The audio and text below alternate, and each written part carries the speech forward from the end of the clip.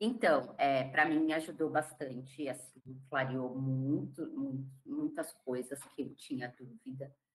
Tipo, estrutura, método, classes, essas partes assim. Uhum.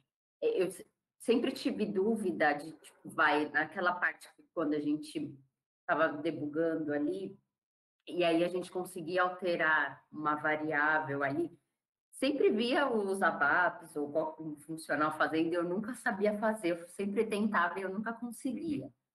Então, foi uma parte que me ajudou bastante. Então, para mim, ajudou bastante, vai adiantar bastante no meu projeto que eu estou trabalhando. Então, para mim, que bom. foi muito, muito bom.